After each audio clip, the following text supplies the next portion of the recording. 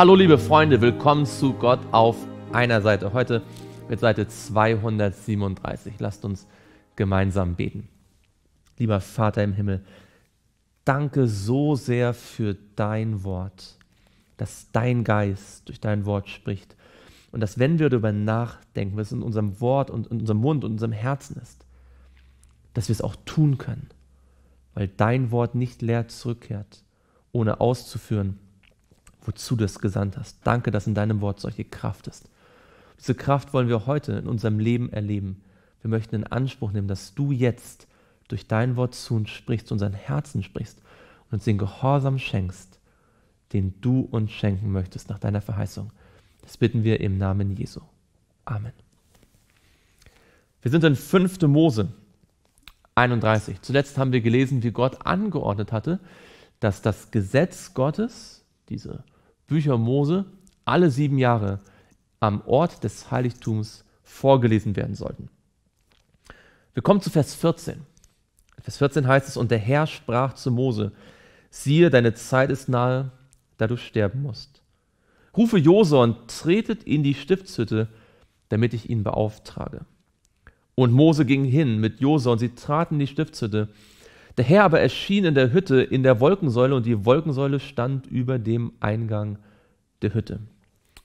Wir haben gesehen in 2. Mose 33, ich konnte den Vers dann nochmal finden, dass Josua schon Jahre zuvor eine tiefe Liebe für das Heiligtum gehabt hat und gar nicht wich aus, der, aus dem Zelt der Begegnung, noch bevor äh, die Stiftshütte dann im Detail so gebaut worden ist, wie es dann äh, Gott angeordnet hatte.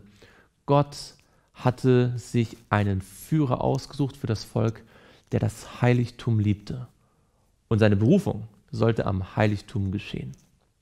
Wenn wir eine Verantwortung im, Wort, im, im Volk Gottes wahrnehmen wollen, dann sollten auch wir das Heiligtum sehr schätzen. Denn Gott möchte uns in seinem Heiligtum für jede Aufgabe im Wort, im Volk Gottes, im Werk Gottes berufen. Und der Herr sprach zu Mose, siehe, du wirst dich zu deinen Vätern legen und dieses Volk wird aufstehen und den fremden Göttern des Landes nachhuren in dessen Mitte es hineinkommt, und es wird mich verlassen und meinen Bund brechen, den ich mit ihm gemacht habe. So wird zu jener Zeit mein Zorn über es entbrennen, und ich werde es verlassen und mein Angesicht vor ihm verbergen, dass sie verzehrt werden, und viele Übel und Drangsale werden es treffen. Und es wird an jenem Tag sagen, haben mich nicht alle diese Übel getroffen, weil mein Gott nicht in meiner Mitte ist? Ich aber werde zu jener Zeit mein Angesicht gänzlich verbergen, um all des Bösen willen, das es getan hat, weil sie sich anderen Göttern zugewandt haben. Schreibt euch nun dieses Lied auf. Und du sollst es die Kinder Israels lehren, lege es in ihren Mund, damit mir dieses Lied ein Zeuge sei gegen die Kinder Israels. Gott kennt die Zukunft. Und er segnet das Volk Israel hier, obwohl er weiß, dass sie später von ihm abfallen werden. Gott hat Luzifer eine ganz nahe Position zu ihm gebracht und ihn mit Segen überschüttet, obwohl er wusste, dass dieser Engel einmal gegen ihn kämpfen wird. Jesus hat Judas so liebevoll und nett behandelt, wissend, dass es dieser Mann sein wird, der einmal ihn verraten wird. Gott liebt uns trotz dessen, was wir getan haben oder was wir noch tun werden. Und wir sollten uns entscheiden, auf seine Warnung zu hören. Denn ich werde sie in das Land bringen, das ich ihren Vätern zugeschworen habe, in dem Milch und Honig fließt, und sie werden essen und satt und fett werden, und sie werden sich anderen Göttern zuwenden und ihnen dienen, und mich werden sie verachten und meinen Bund brechen. Und wenn sie dann viele Übel und Drangsale getroffen haben, soll dieses Lied gegen sie Zeugnis ablegen, denn es soll nicht vergessen werden im Mund ihrer Nachkommen denn ich kenne ihre Gedanken, mit denen sie jetzt schon umgehen, ehe ich sie in das Land bringe, das ich ihnen zugeschworen habe. Der Abfall begann nicht offen, er begann mit Gedanken, die vielleicht nicht sichtbar waren für Menschen, aber Gott sah die Herzen und er sah die Gedanken und er sah hundertprozentig genau voraus, wohin die Gedanken führen würden. Gott sieht auch, wohin unsere Gedanken führen werden, wenn wir nicht umkehren und Gott in unserem Herzen wohnen lassen. So schrieb Mose an jenem Tag dieses Lied auf und lehrte es die Kinder Israels. Und er befahl Josua, dem Sohn Nuns, und sprach, sei stark und mutig. Denn du sollst die Kinder Israels in das Land bringen, das ich ihnen zugeschworen habe, und ich will mit dir sein.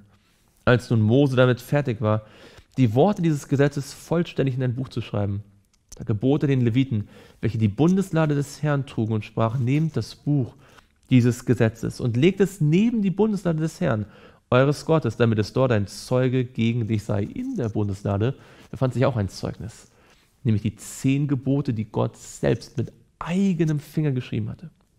Aber diese ganzen fünf Bücher Mose sollten als Erklärung und Vertiefung daneben stehen und dazugehören.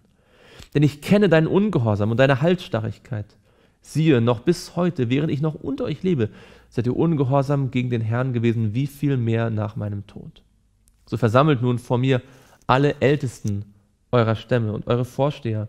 Und ich will diese Worte vor ihren Ohren reden und Himmel und Erde gegen sie als Zeugen bestellen. Ihr könnt in Jesaja 1 ein Vers finden, in dem dann der Prophet Jesaja sich auf diese und ähnliche Stellen hier in diesen Kapiteln bezieht und Himmel und Erde als Zeugen anruft, dass all das eingetreten ist, was Mose hier inspiriert vom Heiligen Geist vorhergesagt hat. Denn ich weiß, dass ihr nach meinem Tod gewiss verderblich handeln und von dem Weg abweichen werdet, den ich euch geboten habe. So wird euch am Ende der Tage dieses Unheil treffen, weil ihr tun werdet, was böse ist in den Augen des Herrn, indem ihr ihn durch die Werke eurer Hände erzürnen werdet. So redete Mose diese Worte dieses Liedes vor den Ohren der ganzen Gemeinde Israels bis zu Ende. Horcht auf, ihr Himmel, denn ich will reden, und du, Erde, höre die Rede meines Mundes. Sie haben wieder Himmel und Erde als Zeugen angerufen. Meine Lehre triefe wie der Regen, meine Rede fließe wie der Tau, wie die Regenschau auf das Gras und wie die Tropfen auf das Grüne. Ihr könnt in Jesaja 55 einen Vers finden, von dem geschrieben steht, bei dem steht, wie das Wort Gottes, wie ein Regen auf die Erde kommt und Frucht bewirkt. So möchte auch dieses Lied Mose etwas bewirken in deinem und in meinem Herzen. Denn ich will den Namen des Herrn verkünden. Gebt unserem Gott die Ehre. Das klingt wie eine dreifache Engelsbotschaft. Ihr könnt den Vers finden, Offenbarung 14. Er ist der Fels. Vollkommen ist sein Tun. Ja, alle seine Wege sind gerecht. Ein Gott der Treue und ohne Falsch gerecht und aufrichtig ist er. Gegen ihn haben verderblich gehandelt, die nicht seine Kinder sind, sondern Schandflecken, ein verkehrtes und verdrehtes Geschlecht. Lasst uns gemeinsam beten. Lieber Vater im Himmel, danke, dass du die Zukunft kennst und uns schon zeigst was kommen wird, damit wir rechtzeitig für uns persönlich die Entscheidung fällen können, auf dem Weg der Sünde nicht weiterzugehen, sondern an dir festzuhalten. Herr, lass doch das Lied des Mose und all das, was wir gelesen haben im Buch 5. Mose und auch davor, wie ein Regen auf unser Herz kommen und Frucht bringen, dass wir verstehen, dass du, Herr, unser Fels bist, dass alles, was du tust, gerecht und vollkommen ist und dass es keinen besseren Plan für unser Leben geben kann, als den, den du für uns hast. Herr, vergib uns, dass wir so oft in Gedanken abschweifen von dir. Bitte halte du uns ganz fest bei dir, dass wir nicht mehr von dir abweichen. Das bitten wir im Namen Jesu. Amen.